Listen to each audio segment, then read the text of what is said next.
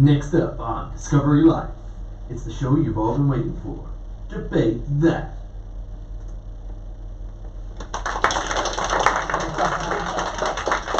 Welcome, one and all. Welcome to Debate That, the show where we're all going to get into some real masturbating. But before we all explode from excitement, it's time to meet our contestants. Hello, I'm Dr. Charlotte Gormenghast. I'm a fully qualified senior psychiatrist for the last 15 years, leading expert in the field of psychopathological research, and principal lecturer at Cambridge. And I don't mean the shoddy idea of us. Whereas I am the long dead founder of psychoanalysis, Dr. Sigmund Freud. And my preferred scientific method is to make up some kind of vile shit about your unconscious mind and somehow just link it all back to sex. Well, well, two titans in their fields, both starting off on equal footing, but for how much longer? Yes, you've guessed it, ladies and gentlemen. Today we're talking about psychology, psychiatry, psychopathology, psych psychozonologies, but not physiology, not physiotherapy, and most certainly not physics, because today focusing on the real sciences. Yes, it's a real battle of the mind, so to speak. So let me hear you, ladies and gents. Let me hear you roar. Give it up for the two participants. Come on, come on, come on.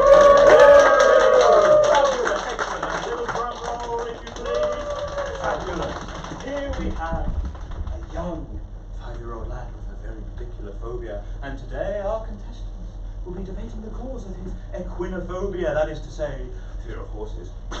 So, without much further ado, ladies first, Dr. Gormenghast, what are we thinking?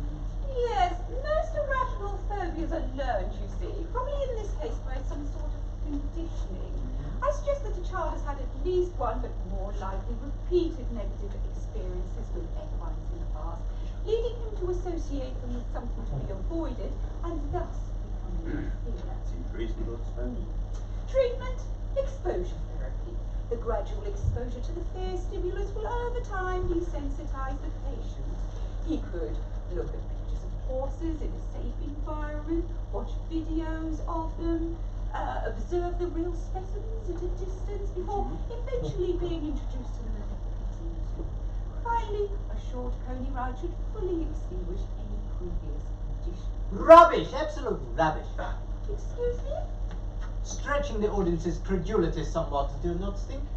Won't that of the entire scientific community come to that? So you disagree then, sir? I do. So you would recommend drug therapy, would you? Because that's hardly a Actually, I was about to say that clearly the boy's father has a massive willy. And uh, the boy is just projecting his fear of the father onto the horse, as the horse also has large tackle.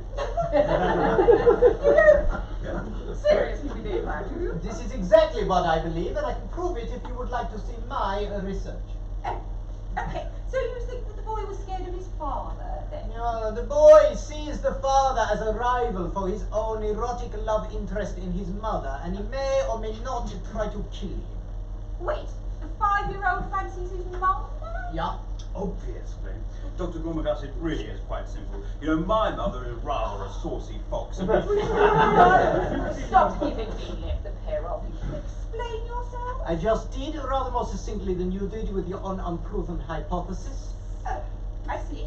So, being scared of black beauty because your father has a massive throbbing 11-inch cock is far more scientific and sensible than my exposure therapy, which stretches credulity to breaking point. Is that it? Yeah. You know, um, my father had a black beauty, if you know what I mean. You can pat that too. Fine. We'll move on to round two then, shall we? Sigmund, your turn to go first. A woman keeps dreaming of a train entering a tunnel. What is the reason? Recurring. Clearly she is a randy little slut who needs a good hard shag. Yes, yes. Dream analysis, that's irrefutable, that one. Round three then. Obsessive compulsive disorder. Someone is unable to control their thoughts or feelings or actions in regards to certain repeated, shall we say, uh, rituals or routines or Yes, that is rather an overgeneralisation, but I would recommend CBT or other such talk therapies in combination with my previously mentioned exposure therapy and in combination with some drugs to alleviate any anxiety in the short term. Of course, there's no clear cause. No clear cause, this is simply poppycock. And Poppycock. I appreciate you sneaking cock into that. explanation. this really is very useful. Thank you. Clearly, The causes of OCD are quite simple. Mm-hmm. As a child grows up, they have to learn to poop. Here we go. And should the parents try to force the child to control their bowel movements before they are ready, they may instead rebel, retaining their poop. And this will lead them to become an adult who is obsessively tidy and hating of mess. You don't seriously believe this shite, do you? Of course, I am sure that you yourself may have referred to somebody obsessive as anal. Case closed. Well, with that stinger, that ends the round. And with it, the session. And we have a Oh, very no, clear you winner. don't. We have one more round to go. No, we don't. Round four. this jammy bugger is totally obsessed with sex. He thinks that everyone except himself is in love with their parents' genitalia, and I cannot even name his discipline without slipping anal into the word. Psychoanalysis. Clever, clever. Yes. He sucks on that cigar like it's going out of fashion. You want to talk repression, you pervy-bearded bastard? Just take a long, hard look at that bad boy in your mouth and tell me what that means. Because I think that the evidence is pretty clear if we follow your reasoning, you dirty old git. You just love sucking Control yourself, my dear. You are become confused. She has. How? Yeah. Uh, let's just say sometimes a cigar is just a cigar.